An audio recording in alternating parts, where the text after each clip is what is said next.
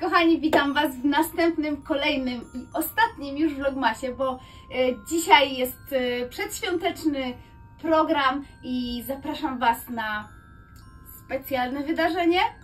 Zapraszam Was na oglądanie ostatnich przygotowań, czyli ciast, które piekłam dziś na święta.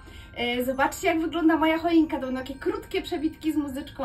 I moi drodzy, chciałam Wam złożyć najserdeczniejsze życzenia wesołych świąt, radosnych, zdrowych, w gronie rodziny. Po prostu bądźcie otoczeni miłością i tak dalej. Kochani, i w przyszłym roku, w nowym roku życzę Wam powodzenia i tego, żebyście e, nadal mieli ochotę tutaj przychodzić i być ze mną i tworzyć tą społeczność. E, Mam nadzieję, że ona się będzie rozszerzać. Tego życzę sobie. A kochani, tymczasem jutro zapraszam Was na wspaniałe wydarzenie. Mam nadzieję, że będzie wspaniałe. Jutro po południu między 16 a 17 ukaże się piosenka świąteczna em, autorstwa mojego i Wiktora połączone w moim wykonaniu e, z dodatkami. I mam nadzieję, że teledysk też Wam się spodoba. Zapraszam serdecznie. Koniecznie przyjdźcie, bo będę na Was czekać i będę ciekawa Waszych opinii. Kochani, e, jeszcze raz wesołych świąt. Do zobaczenia i widzimy się po świętach.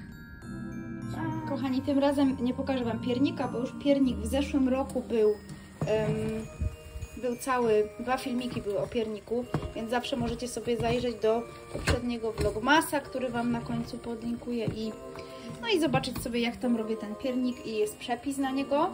A dzisiaj e, jest mazurek orzechowy, który o dziwo jest mazurkiem, który robimy na Boże Narodzenie. To jest normalne ciasto kruche, zwykłe kruche ciasto, które się po prostu będzie teraz piekło, taki spód na całej blasze. Także jak macie przepis na kruche ciasto normalne, to po prostu takie ciasto pieczemy placek. Na to posmaruję całe jedno powidło, takie złowicze, mogą być inne oczywiście, może być domowe, ale powinno być lekko kwaskowate. Posmaruję to jak się upiecze. I na samym koniuszku e, dam pianę. Jest to piana z czterech białek, E, do tego dołożone 20 deko cukru ubite na sztywno z, z tymi jajkami. I do tego 15 deko orzechów posiekanych i później trzeba to tak z godzinkę fajnie mieszać sobie na parze. Tam jest gotująca woda w tym drugim garku i to się ma zrobić takie lekko beżowe i ciągnąć się między palcami. I jak już będzie posmarowany spód, upieczony, podpieczony i posmarowany, to wyłożę tą pianę na wierzch, tą taką ubitą na parze pianę i no i to się ma trak, troszkę wysuszyć w piekarniku, podpiec, ale na takiej niższej temperaturze. Będzie takie chrupiące, lekko brązowe, orzechowe. Najlepsze ciasto, moim zdaniem, najlepsze kruche ciasto świata. Długo trwa przez to bicie na parze. Przez to właśnie to nie jest bicie na parze, tylko to się tak trzyma na parze i co jakiś czas trzeba to przemieszać y, żeby puściło soki, żeby te orzechy trochę puściły sok. I, I stąd się to robi takie lekko beżowawe i później podpiecze się na taki jasno-beżowy kolor. Jak się upiecze, to Wam pokażę, jak wygląda, ale nie pokażę Wam, jak smakuje i to bardzo wielka szkoda. A dzisiaj jestem w ogóle u y, rodziców i brata i bratowej w domu. To jest kuchnia. I pokażę Wam przebi przebitki y, choinki jeszcze. E, właśnie pieczemy tu ciasta dzisiaj. Także bye bye. I widzicie, ten spód jest już taki lekko podpieczony.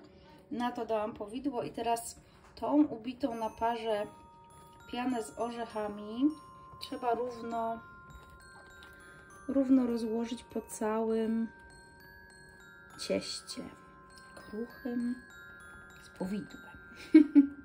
No i to będzie takie pyszne. To jest niewiarygodne, jak to jest dobre. Nie powiem, że to jest proste i dobre, bo, bo robienie tego na parze jest dość upierdliwe, ale to jest przepyszne po prostu. Niektórzy twierdzą, że to jest najlepsze ciasto. No i ja, ja się z tym zgodzę, chociaż nie wiem, czy można to nazwać ciastem właśnie, bo to nie jest jakiś coś kremowego, delikatnego, puszystego, tylko to jest taki kruchy delikates. No ale kruchy, ale jakże to jest wykwintne i po prostu ten smak. Ach, Boże święty, jakie to jest pyszne. tak, najlepiej jest to rozłożyć równo, nawet również na brzegach, bo to ciasto się calutkie, calusieńkie kroi na takie kwadraty potem. I to może, mm, mm, wiecie co, jest, jest taka historia u nas w rodzinie, że kiedyś mój tata zawiózł taki placek e, cioci do Londynu, ponieważ to jest ciasto kruche i po trzech latach przyjechał znowu i ten placek ciocia nadal miała takie małe kawałeczki i wcale nie był zepsuty, co ciekawe. Nie wiem jak się zakonserwował, ale no to jest ciasto kruche, więc jak się dobrze wysuszy, no to teoretycznie, no teoretycznie dużo cukru, więc może przetrwał. E, więc no tak, jest to ciasto, które można trzymać po prostu sobie gdzieś w puszce i będzie fajne, świeże i kruchusieńkie. Także zaraz zobaczycie jeszcze z... upieczone. Po prostu uwielbiam patrzeć na ciasta, jak się pieką. To jest taki fajny widok. Często też nie potrafię się powstrzymać i otwieram piekarnik, ale postaram się teraz tego nie robić. Ona się będzie teraz w 100 stopniach tak jakby trochę suszyć. W każdym razie nie może to być na jakiejś wysokiej temperaturze, bo by się spiekło, a ta piana by się nie wysuszyła. Musi się jednak troszeczkę wysuszyć. Zapasowe. No i zobaczcie, piernik oczywiście też już jest. Ostatnia warstwa się piecze w piekarniku. Olafku, zabierz nóżkę. Piece w piecalniku. Jak w piece w piecerniku. Ostatnia warstwa jest Piecerniku. w pieczerniku, tak? I czekolada będzie na wierzchu, a potem będziemy z Olafem i Erykiem dekorować i zobaczycie efekt końcowy.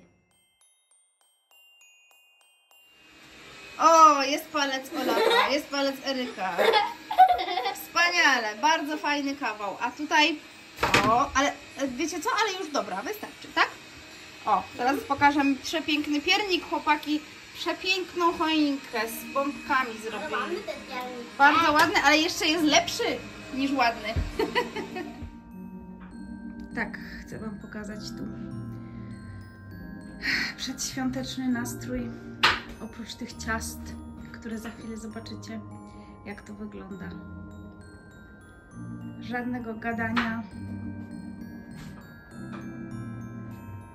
Tylko odrobina świątecznego filu.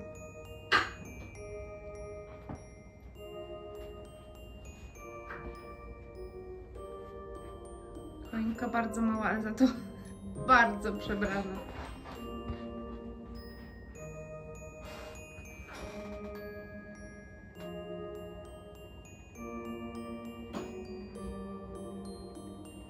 mroczna pod szczytem